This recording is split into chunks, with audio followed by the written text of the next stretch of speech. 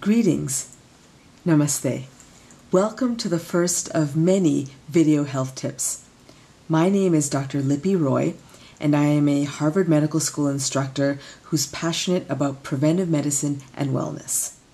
Today, I'm going to talk to you about mindfulness and its many health benefits. So, what is mindfulness?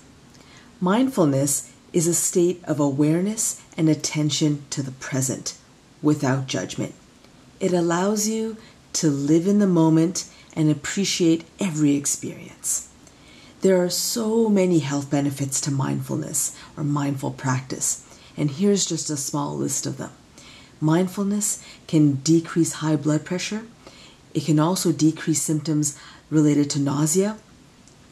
Mindful practice can also decrease pain, decrease stress and anxiety.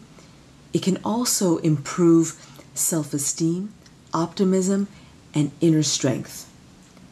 I hope you found today's health tip helpful. Please stay tuned for my next video health tip. In the meantime, have a wonderful and blissful day. Namaste.